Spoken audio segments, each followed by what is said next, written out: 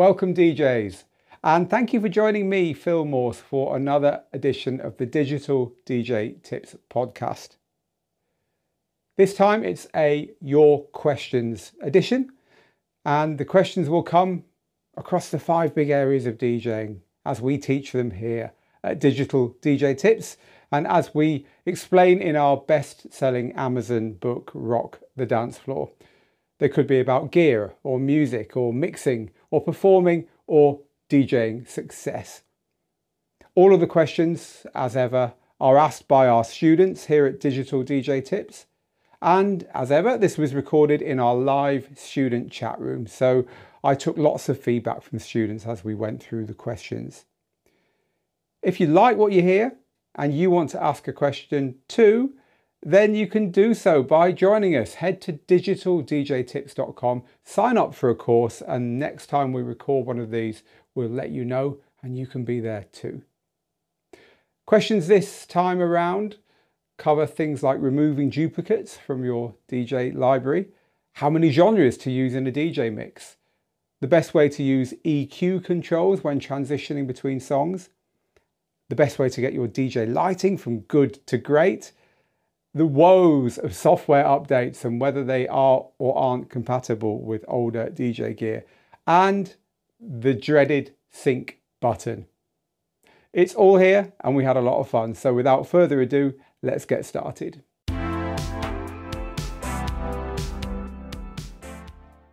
Our first question today is from Sam. And Sam says, please help me to understand something. I started DJing in later life, now aged 52. I love the technology. I rip samples, I use stems, I loop on three decks, etc. In the last few years, I've been playing larger parties and also on CDJ setups. The way I utilize all the above is to make my own pre-recorded edits for such parties.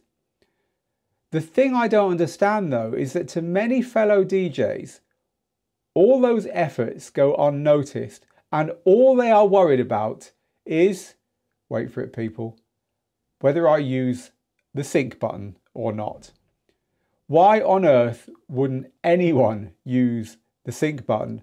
And more so, why on earth would anyone care whether someone else is using a sync button or not seems so silly. Well, this is an age old debate, Sam, and there's so many ways of coming at this debate. So I'm not going to regurgitate all the old arguments. I mean, you've come to DJing late, but let me just let you know that this has been going on for a long time, probably long before you came to this fantastic game of ours. So I'm going to give you three, three points here that I think kind of illustrate this where we're at today with all of this. So the first thing is when other DJs are saying, are you using the sync button or not? And you know, putting you down if you're not, maybe. I think what this shows more than anything is a lack of understanding about what DJing is. And really, it's not so different to how DJing used to be back in the day.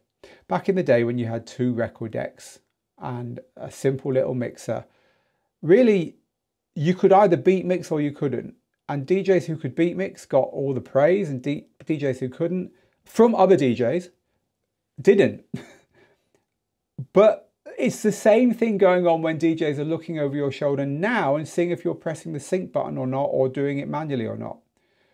And I think the lack of understanding comes from DJs not realizing that it's not about the technical things you're doing, but it's about whether you're conveying emotion to the dance floor, whether you are showing your energy and your passion and your love of music and successfully conveying that to the people in front of you. And if you are, you're going to have an incredible night. And we have a very easy way of putting this. DJing is about playing the right music for the people in front of you right now. And more than ever in today's world, how you do that really doesn't matter. So that's the first point I want to make. And by the way, we think that using any tools, including the sync button, is absolutely fine. But the second point I want to make is this, and this might be something that you want to think about here, Sam. If what you're doing isn't making that emotional contact uh, connection with the dance floor, if it isn't thrilling them, if they're not thinking, oh wow, there's a slightly different edit that's got some different bits and so on, and it's had samples in it, and you know, in other words, if all the clever stuff that you're doing, whether you're doing it live or whether you're doing it ahead of time to, to make it easier to do it on ancient CDJs, right? If that isn't hitting home with your audience, then why are you doing it? Because again, I bring you back to my first statement. DJing is about knowing the right thing to play for the people in front of you right now. And it's about knowing your audience, it's about getting the order of tracks right. And yes, other things matter the edits you play, the mixes you do, the transition techniques, the way you build the tension and then release it, and so on. But these things can be done in all kinds of ways, and it's picking the right ways for the people you're playing for that matter. And quite often, it's the simpler things that count the most. The biggest one being the order you play those tunes in. And so I would just encourage you to, yes, you're right to, to, to, to think it's a bit silly that other DJs are stood there going, are you, you, you know, are you, what are you pressing now? Why? And all that stuff. That's not what DJing's ever been about. But at the same time, your focus should be on doing the things that have the biggest impact on your audience and saying to your audience what you want to say to them. You, what you bring to the table is your passion and your love of the music and, and the message you want to get across. That's the important thing.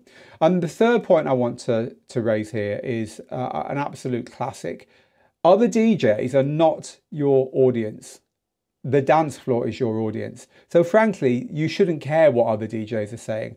And it's like, you know, sometimes if you're online and someone says something under a video or something and you're tempted to go and type something back, you don't know who that person really is.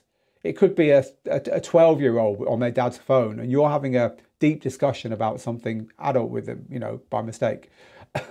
The point is, you've got no idea what how good those DJs are.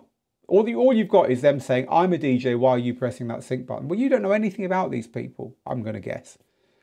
And so the chances are very, very high if there are other DJs in a room that you're DJing in, that the only thing on their mind is, I want to be DJing now, not this person. Like literally, that's it. I wish I was DJing, not them.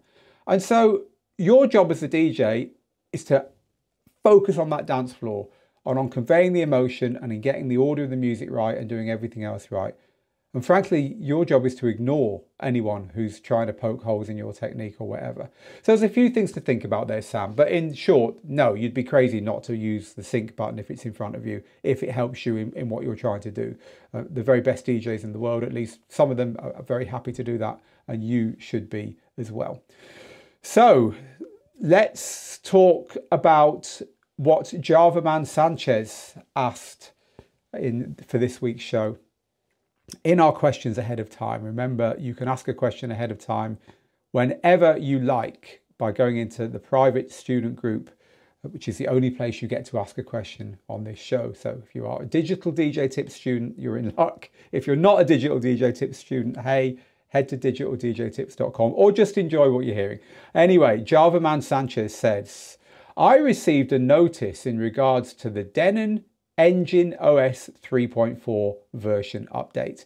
So for those of you who aren't up to speed with the minutiae of the DJ tech news world, uh, the software that runs on Denon DJ's big standalone DJ gear and on smaller, more modest gear, especially from Numark, it is constantly updated with new features. And one of the features that's been updated recently is Bluetooth has been added so that you can play music from your phone directly into your DJ system. And also you can use keyboards. So if you've got a keyboard that is a Bluetooth keyboard, you can attach that to your DJ gear, which is great because it means that if you're a, say a mobile DJ with a big collection, you can very quickly search by typing your searches rather than trying to poke around on a little touch screen on a DJ unit, right? So there's, there's been an update released and it's actually called 3.4.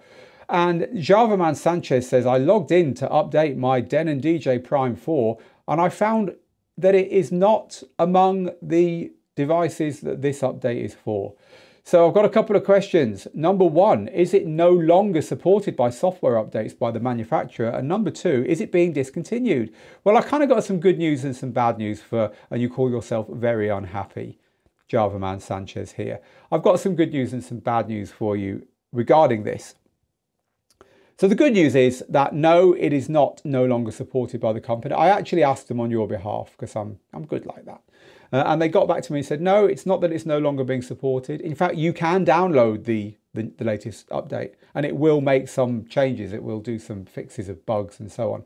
But what they found was that the unit you own and also the SC5000 and 5000M, which were released at the same time, and the Prime 2 actually, uh, have an older Bluetooth chip in them.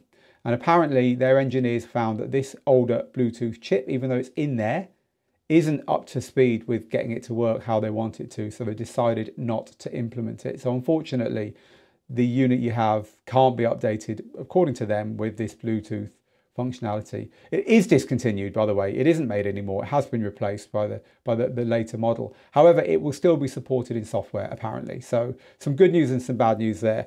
You know, this stuff happens. It happens with all modern tech gear that relies on software. The software moves on and the gear has to has to at some point become unable to run that software. We've got, I'm sure you have too, we've got computers at home that we can't update to the latest OS and so on. But the point is, you st- you've still got a brilliant piece of DJ gear there. The, the, the gear you have is no less capable than it was before, and it will continue to be capable for a long, long, long time. So I think you just need to be a bit sanguine and philosophical about this and, and, and, and take it as it is. Uh, uh, but there, there's, there's the, the update for you anyway. Now, for those of you who are new to what goes on on this show, we are recording in front of a live student audience here at Digital DJ Tips. So we get live instant feedback on not only the questions we are covering, but also on other things going on, which is awesome. So I just try and keep my eye on those and pick out one or two interesting questions or responses to things. Uh, and obviously, whenever we mention the sync button, we get a lot of responses. So Benny says, I don't use the sync button, but I have used it to make my own BPM transitions, which is actually pretty cool. You make a good point there, Benny. If you want to move from a fast song to a slow song in a DJ mix with those songs beat mixing together, there really is no other way to do it other than to use the sync button and to lock those songs together because there's no way you could slow two songs down using the manual beat mixing method unless you're an absolute genius uh, and keep them bang on beat. And so there's a good example of why it's crazy to say, I'm going to say that there's only one way to do this and, and you're doing it the wrong way. Vanessa says, I totally agree. I play for my dance floor, not for other DJs. And so uh, yeah, it's an old, an age-old debate, isn't it? This one. It's just one of those things that will rumble on and on and on. I think Richie says I'm an old school DJ um, from uh, taking hate back in the day for using CDs. Yes, you weren't real unless you were using vinyl, eh? Uh, people are always going to hate for some reason. Use the tools you have and ignore the hate. Uh, and the ruckus says if anyone is looking over your shoulder, ask why are you using this and, and asking why are you using the sync button? Uh, you in turn should be looking over their shoulder and asking why are you using a controller or digital mixer etc etc etc and round the circle goes. I think we're going to sum up on this one with lee who says use sync. Don't use sync. Enjoy the music and the people will enjoy it with you. So thank you very much for that. Right so let's move on to Tom's question now. And this is a great example of the community here at Digital DJ Tips because by the time I got to your question, Tom, uh, you already had some help from other students, which is great, but we're going to share it with, with, with everyone else now as well. So Tom said, can you recommend software that will recognize duplicate files within my music library so I can easily clean it up? Thanks in advance. So there are lots of ways of doing this. There are plugins that will do this in iTunes and so on. But Sam very, very uh, benevolently answered your question for you, Tom. And Sam said there is a piece of software which we actually yet to get around to reviewing, which we are going to review at some point, I promise you. But there's a piece of software called Lexicon DJ. And Lexicon DJ does this. Um, it's a subscription uh, app. So Sam recommends that you subscribe to it for a month, uh, use it to remove all your duplicates, and hopefully, I'm sure the programmers would want you to then try all its other features and see if you want to keep it. But if not, you can unsubscribe uh, and the job is done. Lexicon DJ is a piece of software that does lots of things, one of which is help you to move your music between different DJ software because it holds a kind of master version of your library elsewhere, kind of like a big big mother library, which you can then send to different DJ software and different laptops and so on. It's too much to go into now, but I would also say to you, Tom, as a little bit of, bit of advice as your tutor, you shouldn't get yourself into this mess where you've got lots of copies of the same track on your library. And it involves a couple of things. The first thing is a, a, basic understanding of how your operating system looks after your files. Because the biggest problem people have here is they end up accidentally duplicating their music in different places. And so that all ends up thrown in together in their DJ software. And it does come from Uh, either a lack of kind of tidiness or often just not knowing that when you're moving things, you're, you're, you're, you're copying them instead of moving them. And there's now two copies and all this kind of thing, right? So getting that right. But secondly, there is a difference between being a music collector and to use a slightly less complimentary word, a music hoarder and a DJ. Or at least if you are both of those things, you should keep those sides of your life separate. Now, this is something we go on uh, a lot about in our five steps to DJing like a pro, which is the way we teach DJing here at Digital DJ Tips. The five steps being recite them with me, students gear, music, mixing, performing, and success. Now, you won't be able to recite those with me because we've changed them slightly. Drum roll. I think I've actually got a drum roll here somewhere, but uh, I don't know how to trigger it. Um, we've got a new version of our book out, Rock the Dance Floor, which uh, is coming out in June. It's at the typesetters at the moment, it's with the publishers. And we've slightly tweaked those five steps, but they're essentially the same. And in step number two, we teach music, and we do in the music step go uh, go on a lot about this, and we give you the framework for doing this correctly. But the the, the big thing is that if you're a music collector, you're going to want all the albums of your favorite artist and the you know the sleeve notes and the this and the that, and you're going to want to have a complete collection, and you're going to want to make sure there's no holes in that collection, etc. If you're a DJ, you want the smallest number of tunes possible to do the job that you've got to do. Now that's going to be very different. If you're a one genre DJ producer, you're going to have a much smaller collection than someone who plays mobile gigs because a mobile DJ needs a lot of requests and so on. Laidback Luke, one of our tutors, has got about two and a half thousand tunes. Two and a half thousand. Now that might sound quite big if you're just starting in DJing, but Luke's been DJing for about 30 years and some. So that's not that many tunes, right? But Luke is very clear about what he wants and what he doesn't want in his collection. And so should you be. For first, we're only collecting the individual songs we want. We're not collecting the whole albums. We just want the songs that we want to play.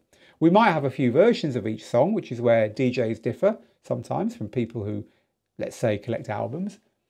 But ultimately, if we're not playing those songs, we don't need them. And our rule is if you haven't played it in a year and you're not likely to play it in a year, get it out of your collection. Because like a, a craftsman will go to do a job, let's say a carpenter or a plumber with their toolbox, and it will only have the tools in that they know how to use and that they regularly use, otherwise they'd be carrying around a lot of boxes, then you should be the same with your music. And my mention of boxes, if you're an older DJ, might trigger you into remembering how we used to do it. We used to carry records around with us and you could only take a certain number. And it was a way of keeping you disciplined, right? Music was expensive and you could only carry a certain amount. And I want you to start thinking the same way if you've got a messy collection. You should only put music in there that you really love and that you're likely to play. And when it gets to a certain size, only put music in if you're prepared to take songs out. And as long as you're listening to those songs before you add them or take them out, then really you're going to end up with a collection that is far more useful to you than having a big one that you're out of control of. Another way of putting it is if you don't know every song in that collection really well, in a way you don't properly own it, right? So we are pretty hardcore about this in the way we teach. your music collection doesn't really even belong to you unless you know each song inside out and it's like they're like old friends and you can't have as we all know uh, on facebook or wherever too many friends otherwise you literally go in there one day and you scroll through them and you think i don't even know who that is don't get in that state with your music collection so a bit of tuition there as well but uh, the short answer from sam thank you sam to tom was lexicon dj now one of our regulars here uh, is Mixmaster G, who actually writes software for Mac. Uh, and Mixmaster G's Mac software can do stuff like this as well. So if you're interested in learning more about that and you're a student, check out the comments where Mixmaster G states a couple of things that can help you with that. Wonderful. So loads and loads of questions to deal with, deal with, what to help you with today. So let's move on immediately to Mike. Uh, who says, I create 60 minute mixes and I only upload them to Mixcloud. That's my thing, right? So Mike is a, is, doesn't DJ out, doesn't play uh, in public. Mike simply makes 60 minute mixes to upload to Mixcloud, Mixcloud being the best place online to host your DJ mixes. Uh, I enjoy many genres from techno to techno house to trance to hardstyle. And this is a question, and I'd like you to help live students with your thoughts on this. Is there a formula in order to produce my set or do you just focus on one or two of these genres? Thank you so much and I hope this makes sense. So really what Mike is saying is Mike's got four or five genres that he really likes to play, but he doesn't know how to structure his sets. He doesn't know whether he should only play one or two genres or maybe try and mix them all up. Uh, so again, there's so many ways we can come at this. And it's really about who you're doing this for, Mike. And, and another way of putting this would be why are you recording these sets? Because when you're making a mixtape, and by the way, the word mixtape means DJ mix. It's just that a lot of DJs will still call it a mixtape, even though we haven't used cassettes for a long time. When you're making a mixtape and uploading it somewhere, the people you're aiming it at should, in the same way that when you're playing a DJ set in public, they should dictate what it is you're doing. So let's say that you were, I mean, I know you're not Mike, but let's say you were trying to get a gig at a local club. Well, you're going to go and research that club and research its audience, and you're going to make that DJ set something reflective of what you want to play should you be hired there, right? Let's say you've just met a new significant other and you're trying to seduce them with a wonderful DJ mix, the music that you choose for that mix is likely to be very different again, right? Let's say someone has said, Can you do your favorite tunes of 2024, right? So that's going to dictate what you do because you're going to be looking at music you've bought since the beginning of 2024, right? So why are you doing it? What's the reason? The second way of considering how to mix up what you're playing in your set is what are you trying to say? Are you trying to express your love of particular genres? In which case, should your mix take the best of that genre and mix it with the new stuff that's showing how those genres are moving forward? So now you might be picking one or two of your genres, but making it a mixture of old and new music as well, instead of just playing all the latest? Or are you trying to show that you're very good at finding all the latest songs in a particular genre or, or mix of genres? So this is going to inform the old or new part. And another thing to think about, and I think if you're uh, uh, if all you do, Mike, is create 60 minute mixes and upload them to Mixcloud, I kind of feel like if this is your only outlet, this is the only way you express yourself, I kind of feel that the correct path for you might well be trying to find a unique sound that mixes all the styles that you just spoke of. Because the best, to me, the best DJs are the ones who get all their influences, and that's what these things are, right? Techno, techno house, trance, hardstyle, they're influences. Somewhere in the middle of that lot, if you drew all of those as a Venn diagram, right? Somewhere in the middle, they overlap and there's something about all those genres that attracts you. And I'm gonna I'm to argue that somewhere in the middle of them all is what attracts you the most. So pulling in what it is you really like from all of them and finding that sound that works across a lot of them is probably what's going to give you most satisfaction in the long run? It's going to be harder, of course, but it'll probably give you most satisfaction. And so I, would invite you to think about that. The main thing I would say though, and this doesn't only go for the, the way you structure your set, the number of genres you use and how you move between those genres. It goes for the artwork, the way you present the mixes, the way you number them, the way you speak about them in the comments and in the description and so on, is to be consistent. The best shows of any type are consistent, whether they're, you know, whether they're your favorite podcast or whether they're a DJ mix or whether they're the evening show or the breakfast show on TV or whatever. They're all consistent, right? You know what you're going to get when you turn up. And the best the best everything in life is consistent because ultimately we like routine. And if you're trying to attract an audience, then stay consistent. Don't move around from thing to thing, you know, without any any advance warning or without any reason. It's fine to break away from what you do every now and then. You know, we've already mentioned it, a best of year roundup, for instance, mix or so on, but try and remain consistent otherwise. Uh, it's a great question. Thank you for that, Mike. Um, that's a great idea, says the Ruckus, talking about my idea about blending everything for your unique sound.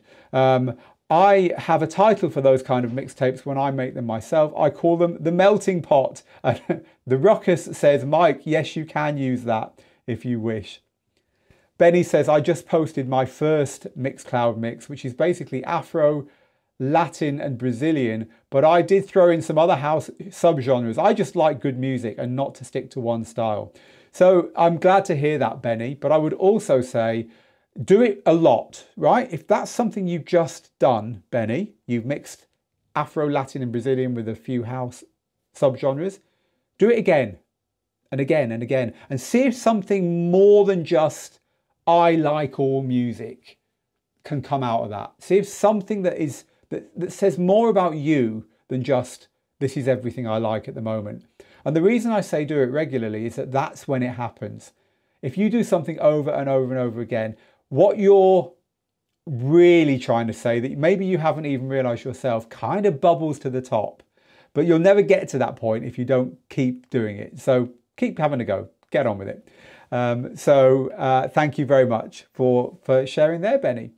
Uh, so let's now jump to a question that came in ahead of time from Keith. And this is a mixing question. And I'm sure this is going to resonate with many of you, especially those of you who are on uh, one of our many mixing courses. Of course, mixing being the third of our five big areas of DJing, the others being recite them with me gear, music, mixing, performing, and success. Right. So, so Keith says, Hi, one thing with my DJing that is still giving me trouble is EQ blending. In other words, mixing with the low, mid, and high EQ buttons, which are just like the posh DJ version of the bass and treble buttons, or knobs rather. Uh, I mean knobs here, of course, that you get on old-fashioned hi-fi amplifiers, right? Uh, so Keith is struggling with mixing with the three that you normally get on DJ gear, the, the bass, mid and high, or the low, mid and high. Um, I'm struggling to know which ones to use on the incoming track to get the nice smooth transition, says Keith. I would welcome any tips to get this right. When practicing, it never seems to sound quite right. Many thanks. So, the first thing I'm going to say to you, Keith, is you cannot judge what you're doing when you're practicing. You cannot trust your, your mind or your ears when it says, this isn't sounding quite right. When you're listening to yourself doing it, it's like this mad never ending cycle that's going on in your head. You're doing it and you're hearing it, and you're doing it and you're hearing it, and you're reacting and you're hearing what happened when you reacted, and then you're doing it and you're hearing it. You can't do it. It will drive you mad, but more to the point, you're not the, the, the best judge of what you're doing in that moment. In fact, you are actually the worst judge at that second in the world of what it is you're doing. Because let's say you were live streaming that transition that's causing you problems, right? You're trying to do a transition between two tracks.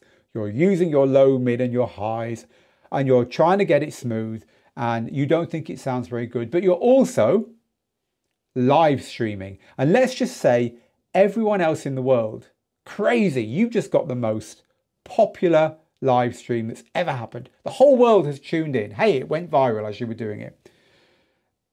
There is no one in the world who is unable to decide whether that mix is good or not, uh, who's worse at doing that at that moment than you are because you're doing it. You're the DJ, you're in the middle of it. You cannot step aside from something that you are part of and look into it objectively from the outside. Not unless you've got some amazing way of hovering outside your own body and looking in at yourself as you're doing something. And if you have, I'd like some of those drugs that you're on, pretty please. Right? So you can't do it, it's impossible. So this is the, this is the solution. Record your practice sessions. Before you do any DJ practice at all, press the record button in your DJ software or on your DJ system. Because two things will happen. One, you'll get really self conscious and you will be like even more worried about your DJing. But two, just like in, you know, reality TV where Big Brother has got cameras everywhere and they all forget the cameras are on them at some point. Their guards go down in the end. So will yours. If you make this something you do every time you practice, in the end, you'll hit record and you'll forget you hit record the second that you did it, right? So now you're recording your DJ sets, but you don't care. That's where we want to get you to.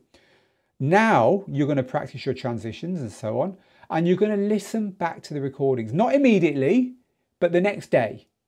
And so here's how here's a really good way of doing it. When you when you have an hour to practice, right? Get your music up, do what you want to do, practice transitions, do the technical stuff. But at the end of that hour, put some time aside to do a DJ mix, to pretend you have got a live audience and to mix two, three, four, ten songs, whatever you've got time for. And if you go wrong, don't stop. Don't think it's a video game where you get an extra life and you can go back to the beginning. You can't do that. You couldn't do that in a real DJ gig. So this is helping you to practice for playing in public as well. But the point is, we want you to carry on, to mix those songs together without a break.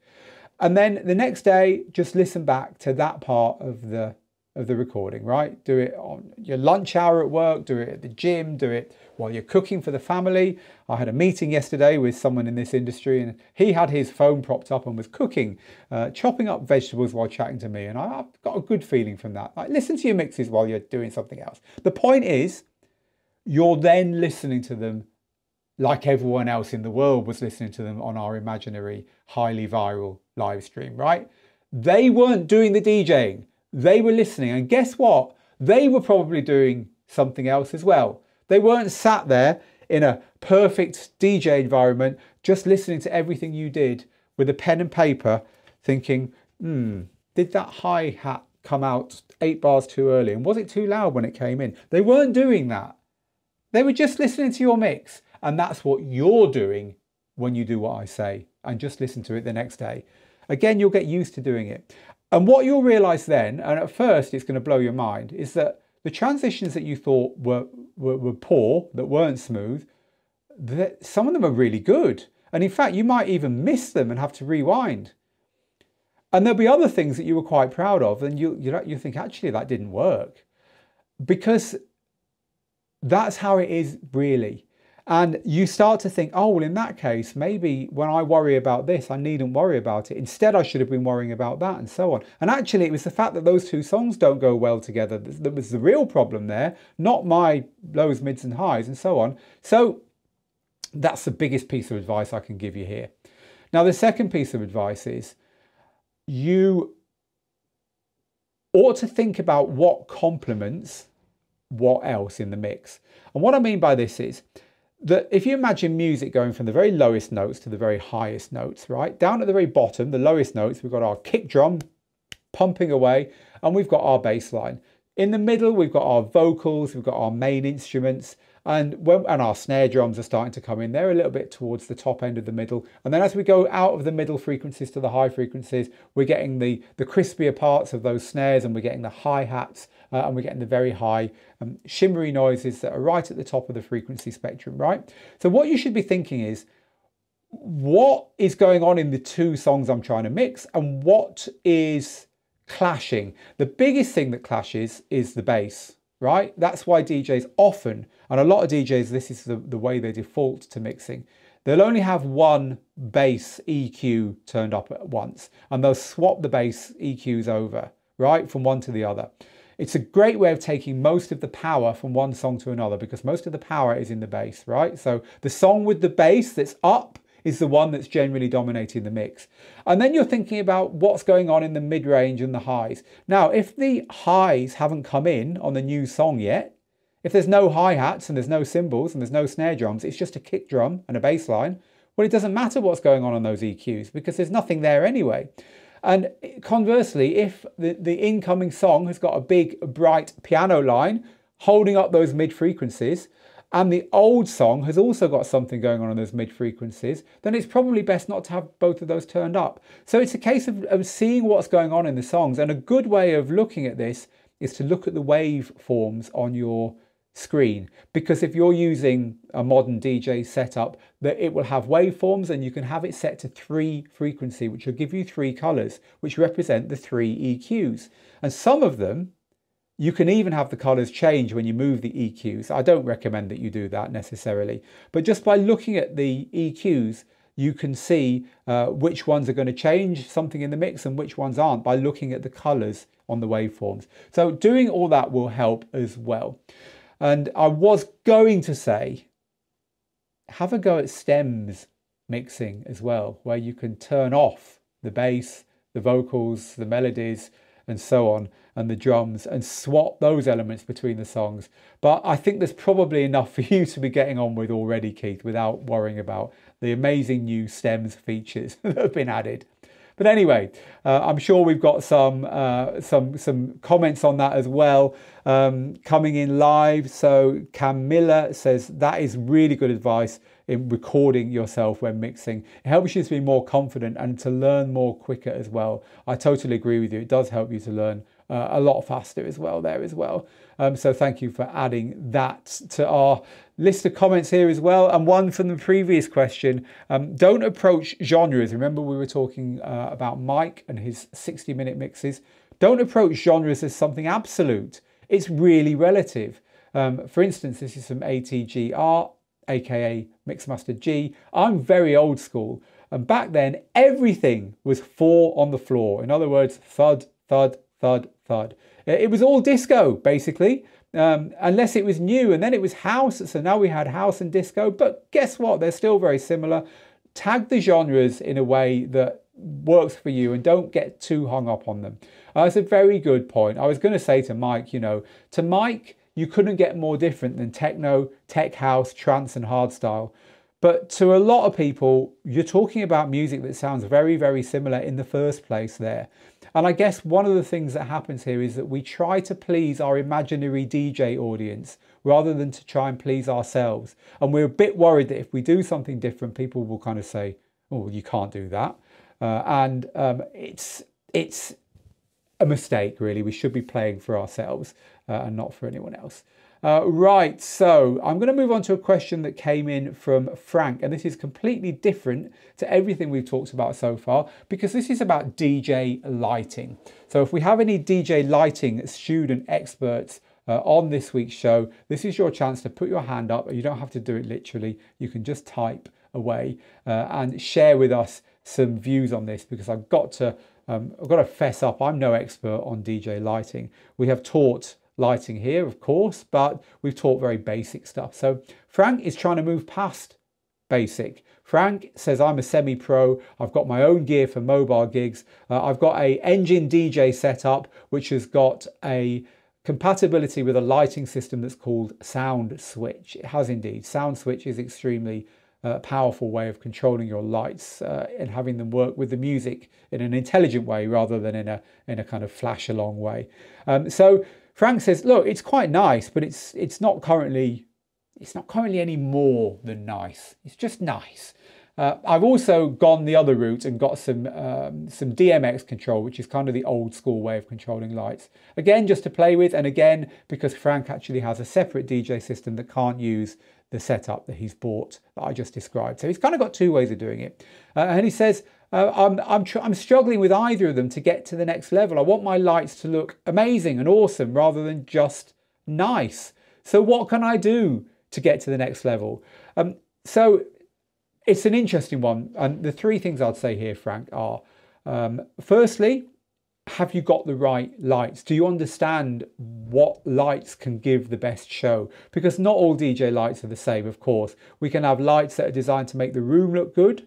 We can have lights that shine on the dance floor itself, and we can have lights that shine on people. And these are all different types of lights. So, this is where my knowledge kind of ends and where I'm not the best person to advise you. But I would say that you should look at the blend of lights you've got, because if you've got the best tech in the world controlling those lights, but the lights themselves aren't doing the job you need, then you can see that there's a shortfall there.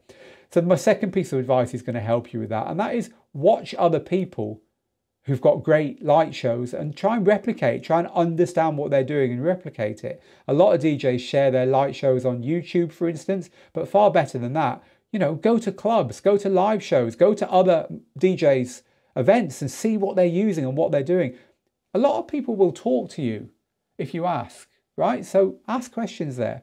And the third thing, and you're quite right, Frank, here, is yes, you should learn either of the systems you've bought or even both of them. You should geek out and learn them because ultimately that's where the wins are. The wins are in understanding how to use them properly. But I think it's informed by the first things as well, you know, getting the gear right, but also knowing what you're trying to do, which you you don't know what you don't know until you find out, right? So the you know we always teach this.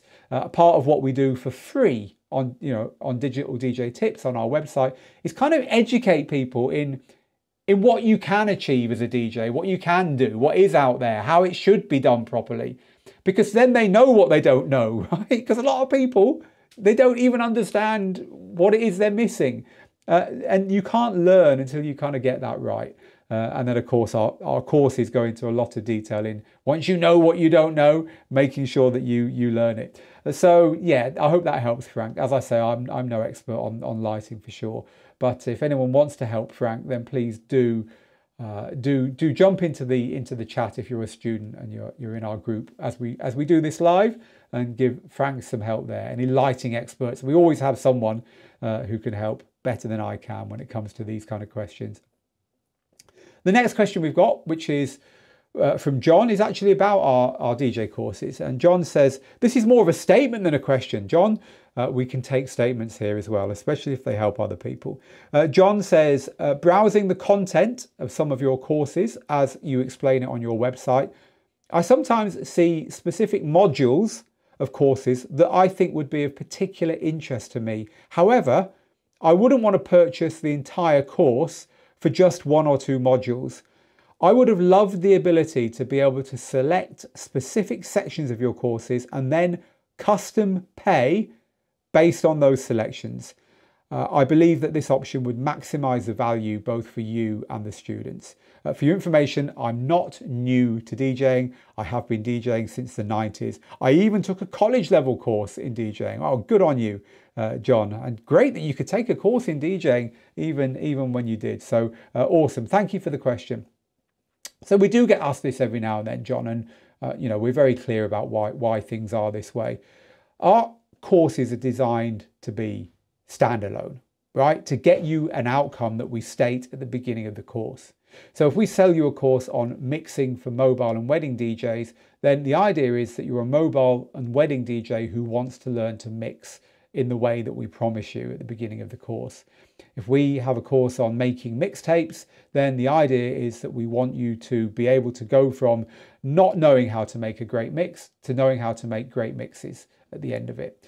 If we have a course called the Complete DJ course, which we do, it's our flagship course, which teaches you the five big areas of DJing gear, music, mixing, performing, and success.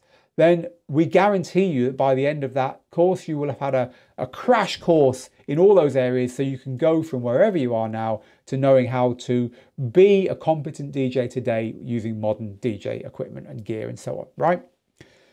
And yes, these modules within these courses do look attractive. Like for instance, in the Complete DJ course, there's a module called Music and Mixing. Well, if you think I'm, i understand my gear and I don't really need much help promoting myself, but I do like the look of that module, you might think, well, actually, I, uh, I just like to buy that one. But it doesn't work that way because these courses are designed to get one outcome. So we will only give you the things in that module that suit the outcome of the course, right?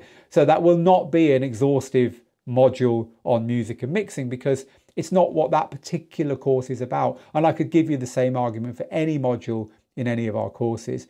They're designed to get you an outcome. And the best way you can choose a course from us is to look through the, the, the material we give you on the website, choose what best suits where you want to be next, where you most need help next, and go for it. And no, of course, I don't, I'm not your individual tutor. You're not, this isn't one-on-one -on -one training. It would cost far too much um, to students to be able to get that kind of training from, from me. So we can't do it that way. We'd much rather sell courses at a price which is more affordable for more people. And it does mean there's going to be stuff that you don't need help with so much.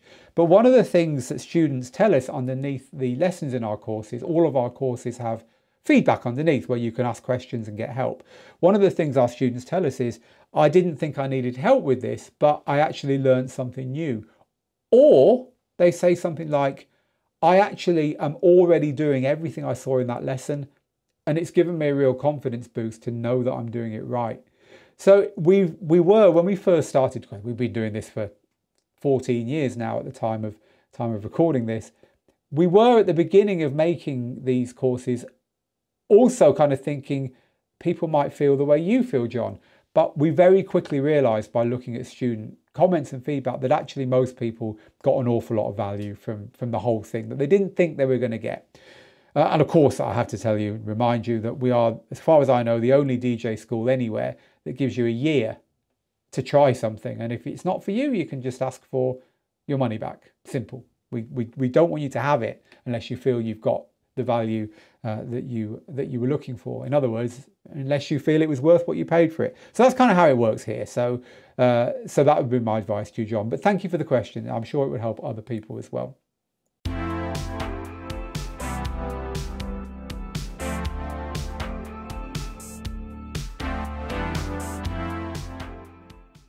So that's where we're going to leave it today. Thank you for joining the discussion to all of our students and to you for joining us here on the podcast. If you want to become a Digital DJ Tips student and join in the next time we do this, then come and check out what we do and all of our DJ courses at digitaldjtips.com. Remember, all of the questions you've heard today were asked by our community, and this podcast is supported and paid for by our Digital DJ Tips students. Meanwhile, get good, get out there, make the moments, and I'll see you again next time. Until then, goodbye.